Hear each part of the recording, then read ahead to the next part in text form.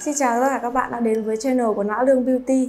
Với thời tiết nắng nóng như thế này chúng ta sẽ rất ngại phải make up khi ra đường Bởi vì nó sẽ làm bí da, kích ứng da và rất dễ gây hại cho da. Vậy nên hôm nay Lã Lương Beauty đã đem đến cho các bạn một sản phẩm có thể giải quyết được mọi sự khó chịu đó. Đó chính là kem đào Pia Corino được sản xuất tại Hàn Quốc. Nhìn vẻ ngoài của em ý khá là dễ thương với màu chính là màu cam đào. Trên bao bì cũng in luôn chính là một trái đào ở đây uhm, với cái vẻ ngoài như này thì mình cảm thấy nó khá là lỏng lẻo và không đầu tư lắm nhưng mà nó vẫn khá chắc tay và có thể bao bọc được tiếp kem ở bên trong.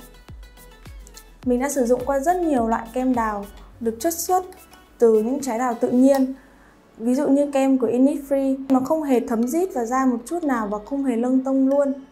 Nhưng đối với kem đào Pia này chiết xuất hoàn toàn từ tự nhiên nên tới 71% từ trái đào cùng với nha đam và cam thảo nên em ấy không hề gây kích ứng một chút nào đối với da nhạy cảm. Khi mở lắp tiếp kem ra, đã ngửi thấy ngay thấy mùi đào rất dễ chịu và nhẹ nhàng như mùi kẹo ngọt vậy, không hề cảm giác có một chút hóa chất nào. Thoa lên tay, cảm giác đầu tiên là khá mát, chất kem màu trắng hơi ẩm, nhưng sau khi thoa lại, thấm rất nhanh vào da, mình có một cảm giác là kem này khá là khó trôi, rất phù hợp cho các bạn có thể đi ngoài trời nắng hay đi bơi. Da lưng ngay tông lên từ 2 đến 3 tông và không hề nặng nề một chút nào. Nhìn rất tự nhiên như chính da thật của mình vậy. Đặc biệt, em ấy rất phù hợp cho mùa hè bởi vì độ mỏng nhẹ, có thể thay thế kem nền, kem lót, thậm chí là có thể dưỡng da và lên tông.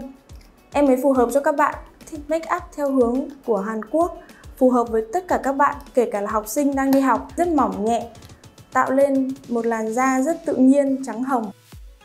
Tổng kết lại với em kem đào này, mình sẽ đánh giá em 18 trên 10 điểm.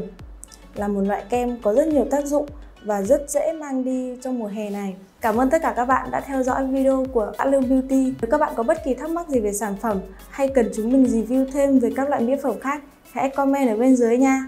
Nhớ like và subscribe cho chúng mình nhé. Chào tạm biệt tất cả các bạn.